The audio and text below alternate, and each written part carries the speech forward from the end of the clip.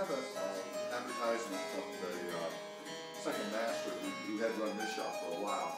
At a point, he's getting uh, a bunch of English wallpapers and, and offering them uh, for sale and offering them. Well, decorating